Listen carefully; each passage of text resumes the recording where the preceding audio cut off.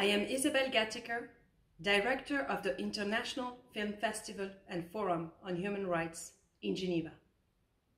One year ago, Marfa Rabkova, team member of Viasna in Belarus, a human rights organization, has been incarcerated. Since then, seven members of Viasna are in prison today, including Ales Bialiatski, its leader, who visited us in Geneva last March. They are human rights defenders and they are political prisoners.